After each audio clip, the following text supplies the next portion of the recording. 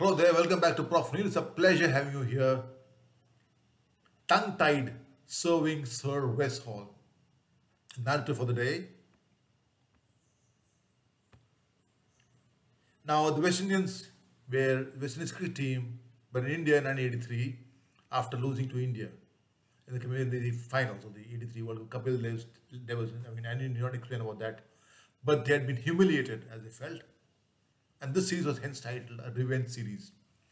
Now remember the West Indies are professionals. They get bonus money for every win.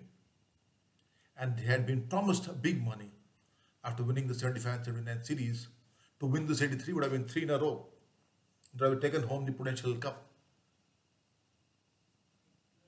But they were humiliated by India. So they wanted to show the upstart India a few lessons in their own backyard. A six test series and a five day, five one days was series was planned already. So they came here and they complete this they completely routed us. 3-0 test series and 5-0 one day international. Decimation, decimation means completely. It was a black wash. The only two bright spots for the Indians were Sunil Gavaskar scoring 236 not out to become the highest Indian to score a to become the second Indian to score to become the only the, the, the Indian batsman to score the I mean to put up the on the board highest score after Vinu Mankad's score. So he broke a long-standing record, and with the century, he went past Sir Don's Sir Donald Bradman's uh, record tally of 29 Test centuries. So not only did he become the Indian to score the maximum number of runs in a Test Test match in innings, he also broke Sir Donald Bradman's long-standing record of 29 test centuries. So that and Kapil Dev 9 for 83 at Motera Stadium in Gujarat. It, it was went in vain. It was a brave effort, single-handed, but it didn't work much. The West Indies were in no mood to give anything up. As the first year student in the Institute of Hotel Management Ahmedabad, we were asked to report to the Hotel Cama where both the teams were dining in the evening.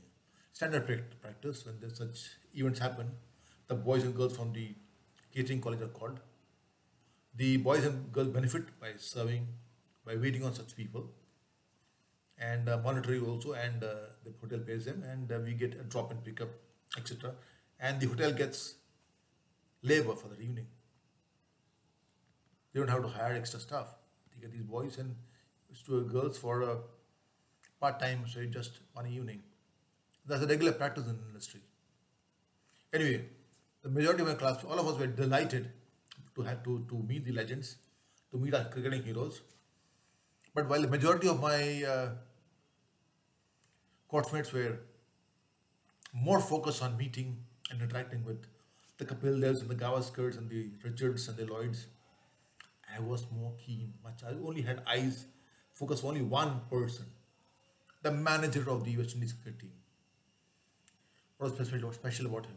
He was Sir Wesley Hall, Wes Hall, the great fast Indian, West Indies fast bowler, who had played under Sir Frank Worrell, the first black captain, who unified the all the West Indian islands into one composite team, which helped benefited all the captains after him, including Clive Lloyd.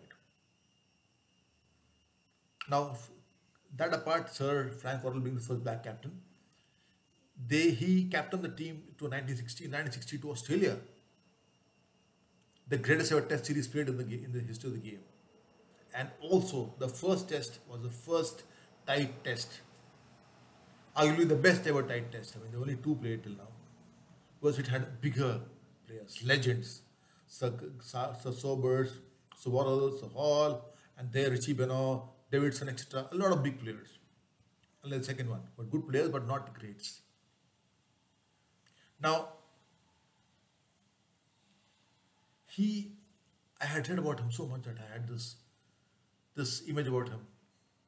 And what I read, what I read proved out to be true because he was the all-time greats in history, and uh, he played in great number of matches and swung the game much in favor of the West Indies bowling. So there he was, as he came into the team, laughing away, chattering away.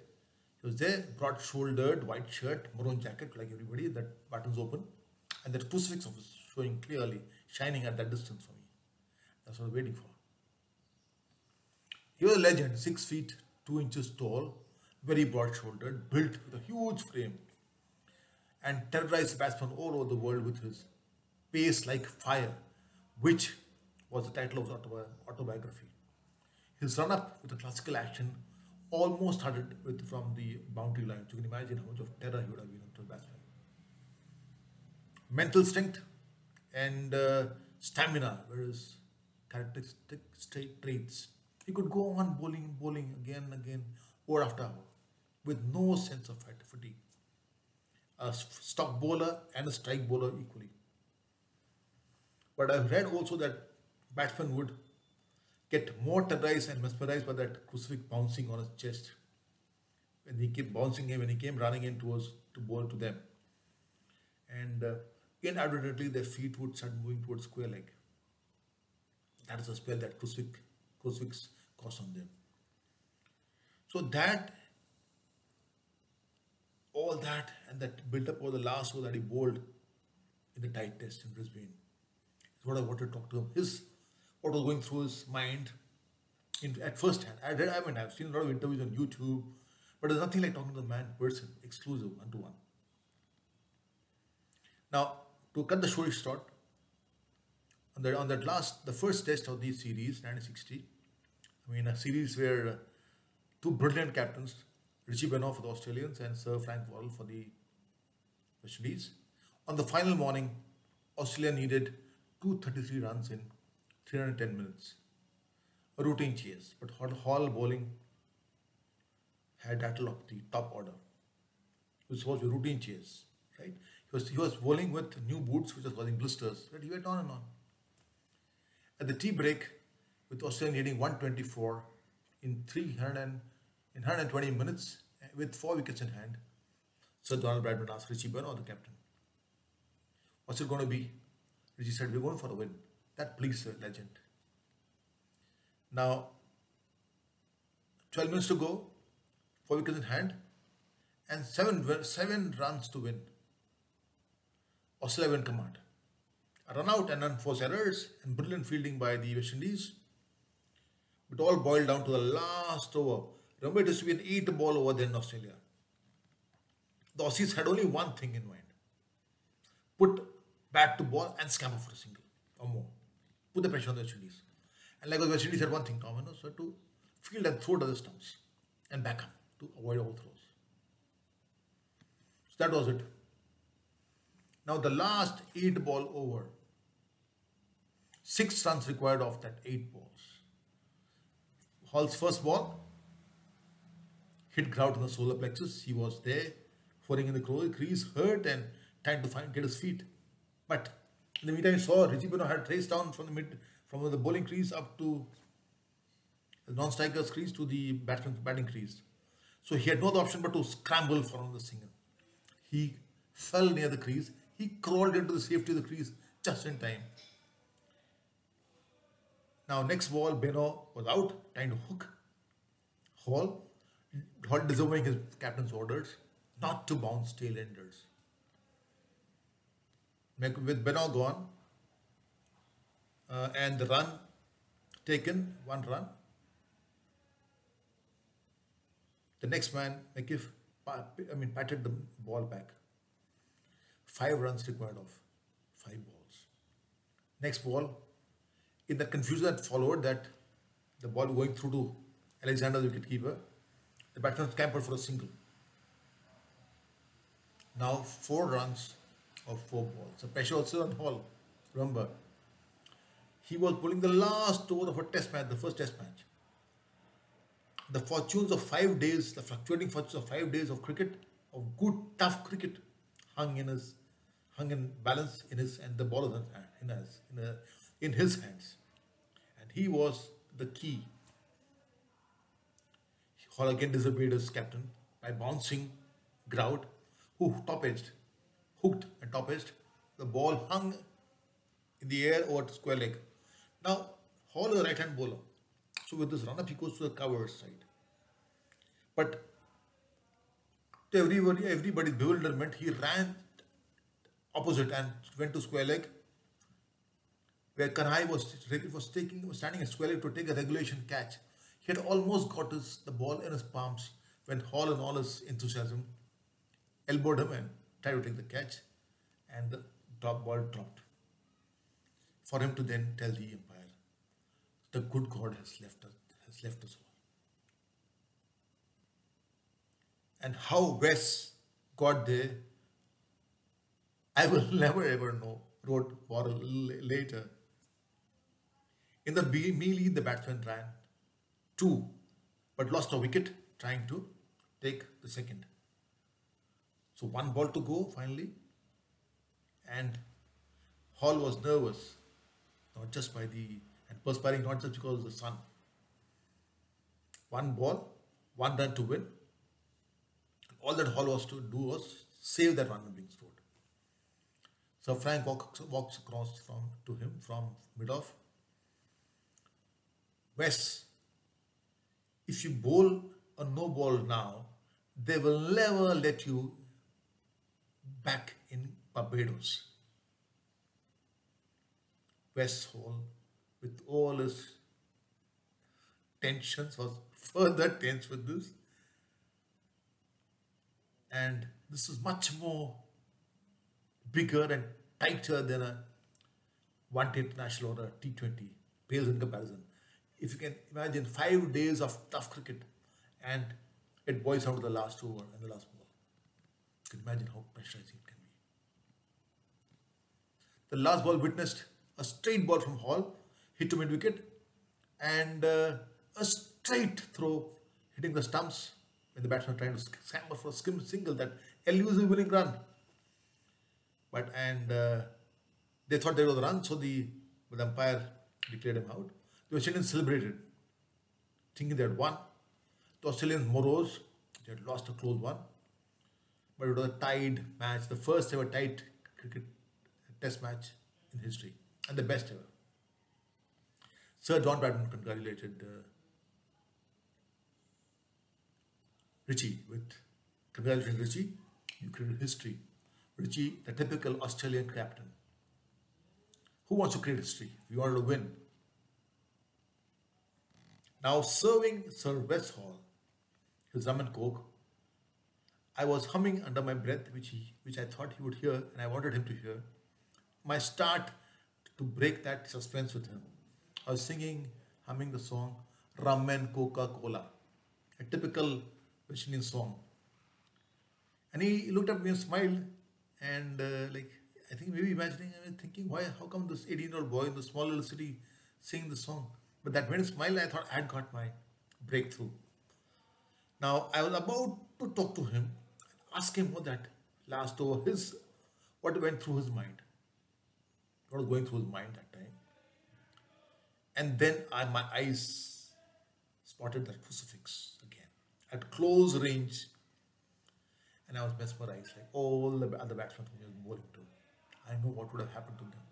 That crucifix had a certain, not a sinister, but a certain presence about it that created a little bit of awe. Not fear for me, but awe. For the batsman, yes, fear. And in the presence of the hero of the first tied test, he, I got tongue tied. The opportunity of a lifetime was lost. I would never get that opportunity again in my life lessons. Going home, I was kicking myself for losing that opportunity. So that I, I, but I realized that one thing that I had to do was to not regret, but to make up. The next time I interacted with Vijay Amritraj at Western Hotel at the reception counter, I asked him, so Vijay, could you tell me, sitting here, I was sitting in Ahmedabad, small little city on BBC radio, listening to how you played Connors. Oh, and he smiled though he had lost that match, he smiled and he because he was up by a set up by games. Also, he was about to win that match and then he lost from there. Of errors. But made history for himself and for India in Wimbledon. And he, that great man, explained to me in detail, which is another video up sometime earlier, I had done this earlier. So I realized that They're human beings. They, they, they, they, they don't look down on you, most of them. And what is I asking? But don't regret later. Likewise with Geet Sethi. Even though he's my school alumnus, my previous video, I asked him, would you like to meet me? In, would you like to meet me in Madras, Chennai? And I said, yes. I mean, you'll be surprised. People say yes. People do answer your queries. Then, when you're not there, you say, I was not there. With this great thing you did. What was your. So, I learned from that. Now, when I do my motivational speaker sessions, I use this as, as a, in the language that the youths understand. I tell them at the most, kya hoga, but don't read it later. And I use that example of the typical youth example that they understand, the teenagers example. Mentoring teenagers, at the most, kya hoga? You'll have a girl, propose to her, damn it. At the most, kya hoga? What will happen at the most? She'll slap you. She'll say no. She won't kill you. To nahi legi na. So go ahead and propose. 30, don't after two, three decades down later, when you meet her at an meet or it's a function and she's in a bad marriage and you've been through a stormy relationship or broken up or single or whatever, widowed or whatever, and, and you're ankleless, she's ankleless, and she looks at you with those eyes which you're mesmerized by, at that time don't regret. Because if you propose to her and she says no, you're finished, depressed. But if she says yes, and you get married, you're completely finished. Now that's your choice, either to be finished or to be completely finished.